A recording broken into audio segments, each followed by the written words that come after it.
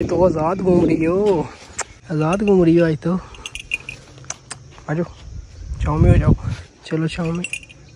आज इसका भी लास्ट डे है और इसका भी और हमारे बछड़े का भी लास्ट डे है यार।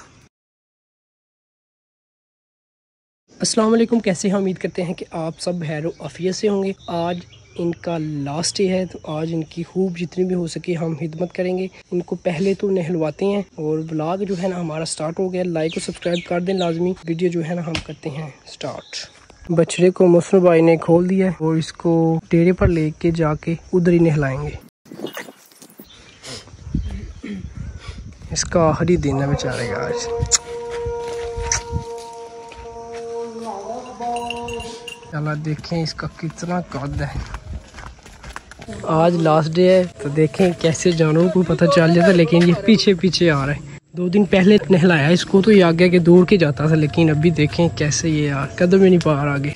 जानवरों को भी पता चल जाता है सब कुछ। पहले के नस्बत जो है ना, मौसम आज काफ़ी अच्छा है तो भाग रहा है पानी से। नहीं करना भी हमारे अम्बिया कराम की सुन्नत में शामिल है, और कुर्बानी के लिए जो जानवर चूज़ किया जाता है, वो भी खुशकिस्मत होता है, और कितना प्यारा होता है, ये आप अंदाज़ा लगा सकते हैं, माशाल्लाह। はい。माशाल्लाह मौसम आज पूरा लेवल का यार। अगर दो तीन दिन ईद के भी ऐसा मौसम होना तो मज़ा आएगा ईद का यार। गर्मी में तो होश उड़ जाते हैं बंदे। के तो अगर मौसम इस तरह का हुआ तो बड़ा इंजॉय करने वाला मौसम होगा ईद के दिन। इंशाल्लाह ताला देखें लेट्स सी क्या प्लान होता है। पहले दिन कल जो है ना की कुर्बानी करेंगे इंशाल्लाह फ़र्स्ट टाइम ईद के बाद। भाई आपने क्या करना है? क्या प्लान है ईद का? अच्छा पहले दिन कुर्बानी? फिर बाद में कोई शुगल मिला है? दिन तो धूल मिट्टी थी। बैल के ऊपर तो हमने सरफ से नहलाया था, लेकिन आज सरफ लाई है।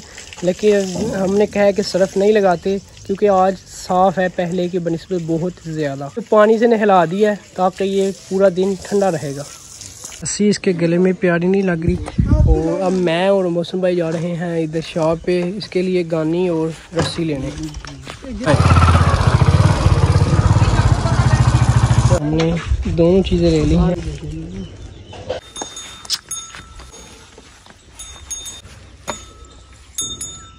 आराम से आराम से। हेलो? माशाल्लाह, दोनों पहना दिए हैं।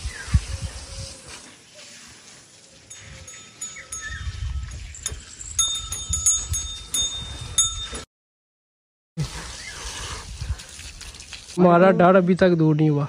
लेके चलो हाँ चलो आगे। जा जा चलो चलो। डर गई मर गई ए, ए, आ, नहीं मार हाँ। ठीक है ले जाओ वापस आप अब घर तक आपने लेके जाना है ठीक है?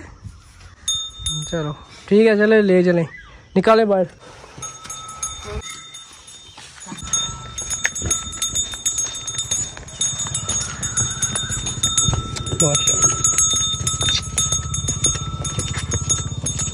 ठीक है फिर कल मिलते हैं। ठीक है ओके।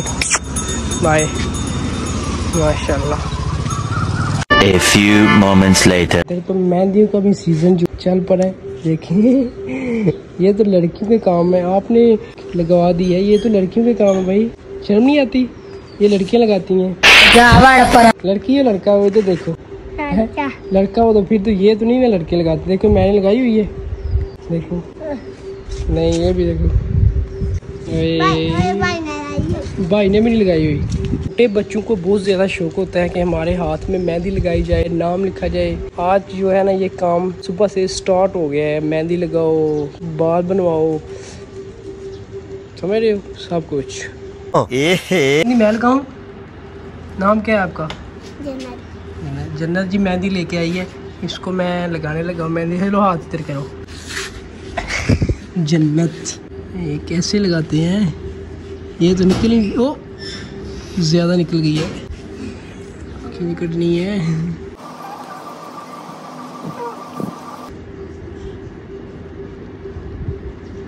ये ठीक हो गया।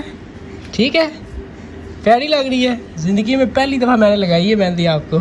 खुशकिस्मत हो आप। प्यारी है? ऐसे कर दो। हाँ सुबह चाट के लिए सामान रेडी हो रहा है। माशाल्लाह। जो उबले हुए खाने का बड़ा ही मज़ा आता है चाट के बगैर भी। कपड़े वगैरह ले- मैं लेके आ चुका था। एक एक ये है, दूसरा ये है, और ये भी है। एक जो न्यू है ना, वो इस्त्री करने वाला रहता है। वो कुर्बानी के बाद इंशाल्लाह ताला पहनेंगे। पहले ईद की नमाज़ हम पढ़ेंगे न्यू कपड़े पहन के फिर उतार फिर जो है ना चेंज करके, उसके बाद कुर्बानी की जाएगी इंशाल्लाह ताला। एक जो इस्त्री नहीं किया, वो, और ये तकरीबन सेम सेम ही कलर थे तो ये मैंने फिर इस्त्री नहीं किए, ये रख दिए और ये दो मैंने ना इस्त्री करके इधर लगा दिए इंशाल्लाह ताला कल पहनेंगे। फिर आपने मेरी पिछली वीडियो देखी हो, जिसमें हमने उन्नीस का बॉक्स पेंट किया था, उसमें कुछ पेंट पड़ चुका है, जो कि मैंने ऐसे रखा था। तो देखें भाई साहब, कैसे ये जम चुका है मुझे नहीं लग रहा है कि ये इस्तेमाल के काबिल रह गया होगा। देखें। लेकिन इसमें एक लेयर बनी हुई है और इसके नीचे जो पेंट है वो लग रहा है कि ठीक है। ऊपर वाली जो लेयर है ना वो जमी हुई है बस। ये देख सकते हैं आप। लेट्स ये अभी इसको इधर ही रख देते हैं अगर ज़रूरत पड़ी फिर कभी तो इस्तेमाल करके देख लेंगे कि इस्तेमाल के काबिल है या नहीं। नहीं हुआ तो फेंक देंगे। ये समझिए आप। इस पौधे में एलोवेरा जेल है, ये इसमें पानी खरा है बहुत ज़्यादा, लेकिन फिर भी ये उस तरह का मज़ा नहीं दे रहा। देखिए कैसे खुश्क खुश्क और मुरझाया लग रहा है। ये भी देखें। और ये देखें, इस पे कीड़े लगे हैं। देखें इसमें, इनको भी बीमारी लगती है। देखें होए हाथ पे चढ़ गया। ये देखें कितने कीड़े हैं भाई साहब। और ये वाइट सा कोई, पता नहीं क्या इन्फेक्शन हुआ है इसको। ये भी देखें, इसको भी सेम ही बीमारी है। कमेंट करके बताएँ कि क्या पौधों को भी बीमारी लगती है? इस तरह का कोई मसला हो सकता है? मुझे नहीं पता इन चीज़ों का, ये ठीक है। और ये भी एक न्यू जो है ना टहनी निकल रही है। नो आइडिया किस चीज़ की है। ये ठीक है, इसमें कोई मसला नहीं है, कोई कीड़ा वगैरह नहीं है। लेकिन ये नीचे से सूखा पड़ा साफ़ करते हैं ताकि ये कीड़े वगैरह तो ख़त्म होना ये देखें, ये कुछ लगा हुआ है इसमें वाइट सा। और इसमें भी सेम ही है प्रॉब्लम कुछ पौधे ऐसे होते हैं जिनको पानी भी काफ़ी टाइम तक ना लगे तो इस तरह से मुरझाते नहीं हैं। लेकिन कुछ पौधे ऐसे होते हैं जो एक दिन ना लगे तो भाई साहब ऐसे हो जाते हैं जैसे पता नहीं सदियों से इनमें पानी डाला ही नहीं गया।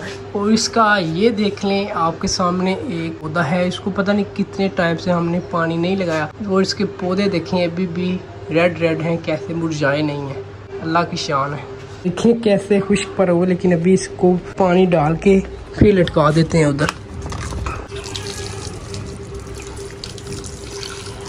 बस, इतना सा पानी बहुत है इसमें, इतना पानी बहुत है। फिर इधर ऐसे लगा दिया। ये जितनी भी आपको कुंडियाँ नज़र आ रही हैं, इधर सब में बोतलें लगी हुई थी काट के। तो पता नहीं कहाँ पे चली गई हैं। बच्चे ने उतार के कहीं गायब कर दी हैं।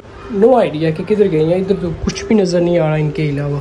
मिलते हैं कल, इंशाल्लाह, ईद के दिन और आपकी खुशियों को दोबाला करेंगे। तो उम्मीद है आपको आज की वीडियो बहुत ज़्यादा अच्छी लगी होगी। अगर अच्छी लगी है तो चैनल को सब्सक्राइब, वीडियो को लाजमी से लाइक करें। हमें दुआ में याद रखें और दें मुझे इजाज़त। अल्लाह हाफिज़, फ़ी ईमान अल्लाह